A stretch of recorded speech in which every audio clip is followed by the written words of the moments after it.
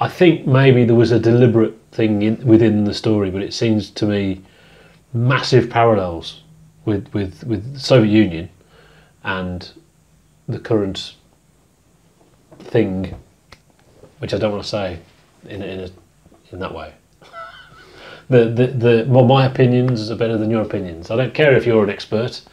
I work in a shoe shop, and I'm going to call the shots now. That's the, that, that and that the sort of anti-intellectual element of the Soviet Union of what it had become about um, nobody special.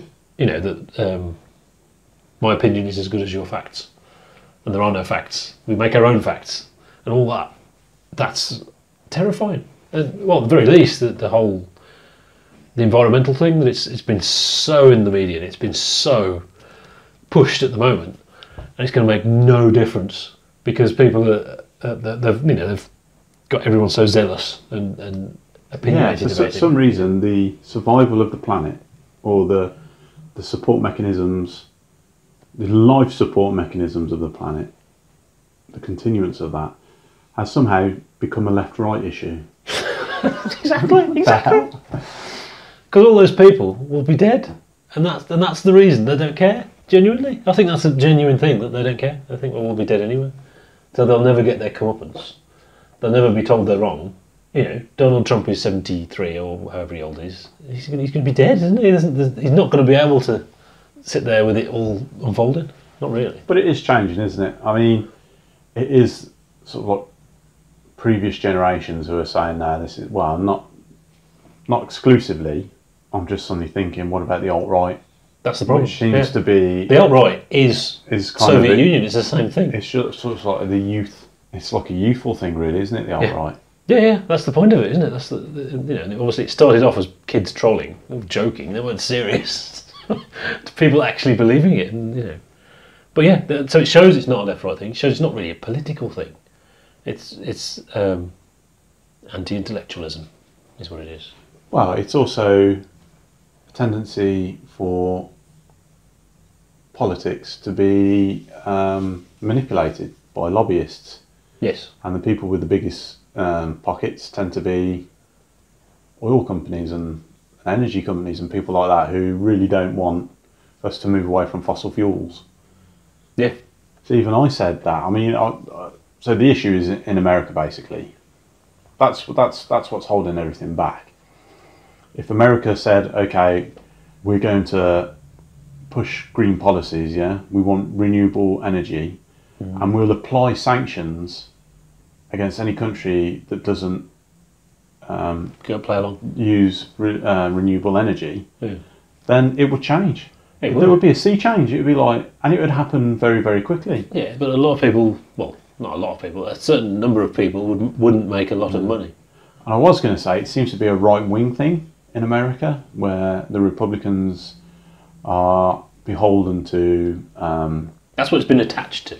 yeah, but It- it isn't right wing particularly. It doesn't. It doesn't have a political. It's a because it's a yeah, trick. Isn't we had we had that uh, uh, a story yesterday. Uh, is it Justin Trudeau, the uh, California? Mm. He said he, he he said we need a Green New Deal, and then the next day announced the opening of a new pipeline.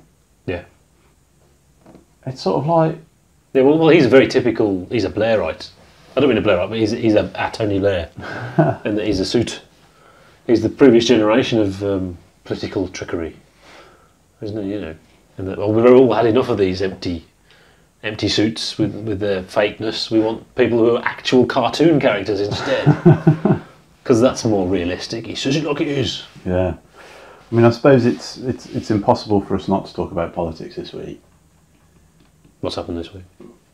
Oh, so yeah, we're, we're doing it here. Yeah. Yeah, well, we said it's a, US thing, but I mean, well, Brazil, and uh, Yeah. we're doing it now. Uh, France is teetering on it. It's going to do it, isn't it? You know, that's that's where it's going to go. Vote for for the great leader. It's not a right wing thing. It's the right doing it, but it's not a right wing thing or a left wing thing. Well, actually, you look at the, the trials and tribulations in the in the Labour Party. It all seems to be focused around this idea of leadership. Yeah. The guy in charge of Labour isn't what they consider. He is Labour because Labour Yeah. is the leader because Yeah. he's he's the, the face on the telly. Yeah, uh, the- doesn't the- matter what he does or, or what they're actually doing or what their policies are. He's got nice teeth. He's got nice. I like his smiles. He's an acceptable face to business. He hasn't even shaved his beard off. Not voting for him. I mean, the, the ultimate hypocrisy, I suppose, is. Uh, do you remember a few months ago there was all that kerfuffle when he mouthed either "stupid woman" or "stupid people" Yes. when the Tories started banging at him in the Yeah. PMQs, Ah, he says stupid woman. and then we've had this. Boris has, has we've got Boris had some sort of having a massive row with his wife. yeah, all crashing going on, Yeah. and, and I'm, I'm not fucking leaving. We've got another guy manhandling a uh, Greenpeace activist out of dinner round the By the throat. neck, and people defending it. Yeah, and people are defending it. The people who were saying Jeremy Corbyn is out of order for mouthing possibly stupid woman during PMQ. I know, saying, oh, well, uh, you've got to get in the real world. this woman might have had a knife. yeah, from Greenpeace in a dress. was just walking past him, and he was like, grabbed her, and, and he's apologised unreservedly and has been suspended. Yeah. But no, it was, it was good. We should beat him up more.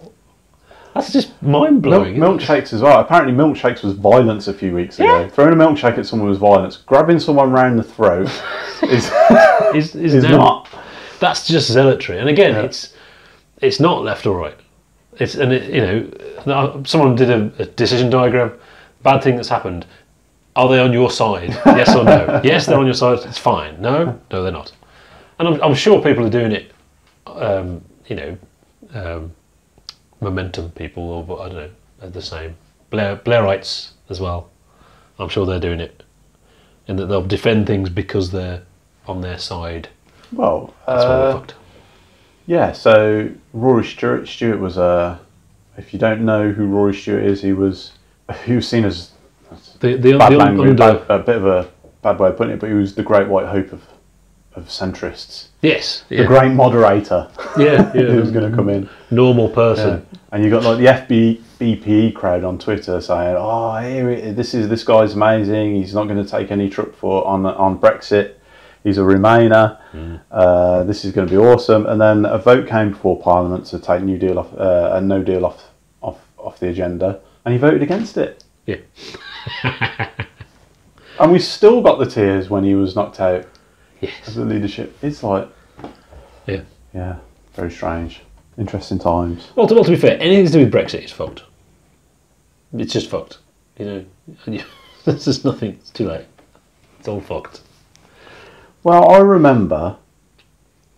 I was thinking about this yesterday when people were saying taking no deal off the table was Uh, sh- stupid thing to do because that's our negotiating chip with the with the EU. They don't want no deal. Yeah, Our economy's the fifth biggest economy in the world, and it's where we have a, a surplus. They have a surplus in their balance of trade with us, so they'd actually be losing money. German car manufacturers will demand yes, that we get the deal that we want so they can keep selling us cars. That's it. Somehow, over the last few months, it's gone from no deal is a bargaining chip to no deal is the desirable outcome. yeah. How did they, how did they do that? How did that happen? How did that little No, migration yeah. happen, sort of thing? Yeah, but um, particularly I mean, before the referendum. Oh no, No, that's not going to happen. I'm never going to do that. We're not talking about no deal. Of course, we're going to have a deal. Yeah. So yeah, I mean, Brexit has hardened minds on both sides, and there is no happy middle ground. No, um, um, and you know the, the recent election proved we're exactly the same position we were in 2016. It's 50-50. Can't. Well, the one thing we agree on is we don't want to compromise Yeah.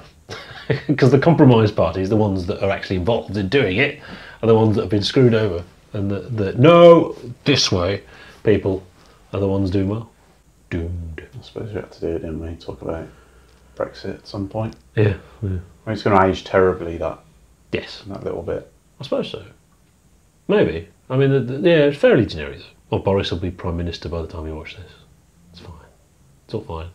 You can hide in a cupboard for at least four years. It'll be fine. Even Andrew Neil said something today about Boris. He says, when I became chairman of the Spectator, Boris was the editor, and that didn't last very long. he kept getting the sack from places, didn't he? Because Yeah. he, he's just a bullshitter. he just makes stuff up. And Well, I can't believe he actually wants the job. Well, well, in 2016, yeah, 2016, I, I'm, I'm sure that he worked with um, Michael Gove to make sure he didn't have to do it. It, it just seemed like he gave up ever so. I mean, what did Michael Gove said something about him not having the character or whatever to Yeah. do it. Oh, I And can't he, do just, it. he just gave up, and Yeah. it was almost like, well, actually, does he really want it? He, He's he didn't want. Brexit. He didn't want Brexit. I don't believe that for a second. I mean, I remember that, that press conference the, the, the next morning. The, the cat in headlights look on. oh, oh, oh, it's actually happened. Oh, shit. So I don't, I don't believe that they really want it. Well, we'll see. Mm. So let's imagine Brexit happens. Yeah, and everything turns pretty bad. Economy takes a big nosedive. We've got some ultra white right wingers who are saying, "Oh, Brexit has worked. It's just all these foreigners." Yeah, it's, uh, it's been sabotaged. It's been sabotaged by, by, by, by, by the Remoaners. by these foreigners and Remoaners. They keep calling people names. And you look at it and you Cooks. look at this isn't going to end well. Where where shall I? Oh, I'm going to leave the country. Where would you move to? Norway, maybe. I'd have to learn, learn another language. Or um, uh, Finland, Sweden, somewhere like that. Denmark's supposed to be pretty good. Yeah. But we won't have the rights and of free movement then. Oh no, yeah, we'd have to apply for something, would we? A citizenship or something, would we? Uh, work visa or something like that, I would have thought. Oh yeah. Well, Australia is really popular, isn't it? And I can I can understand because of the um, the language. Obviously, um, it's a really popular migration place for, for, for UK people, and it is one. Of, it has it's really high on the happiness index, just like those those countries. I think it's it's pretty high. Um, but I, I, I wouldn't want to go to Australia. It sounds awful. Well, I uh, I heard that I think they work longer hours, don't they? Oh, They work quite long hours, and I think the cost of living is quite expensive Right. But the happiness in that's interesting. So why is the happiness in- index high? Because they've got the sun and they can this is drink, nice and sunny. Yeah. drink a few tinnies. The spiders in the toilet though. Uh, There's the, the, one of these reality TV things that my wife was watching, and uh, it says these, these these people who really really want to go. It's their dream to go and live in Australia, right? They've never been there. they think it's just going to be like neighbours, and that, the whole program is about them trying to move there, and they've never been there. That's uh, That's just insane. yeah. I'd quite like to move to New. Well, New Zealand seems quite appealing to me. It's more about the views, isn't it? They've just done a uh, budget based on well-being rather than GDP and things like that. Yes. So the decisions they've made has had to have a positive impact in various Life, measures of well-being, sort Yeah. of thing. how you live. And that sounds like a really good idea to me. Plus, you can go play Lord of the Rings. Yeah.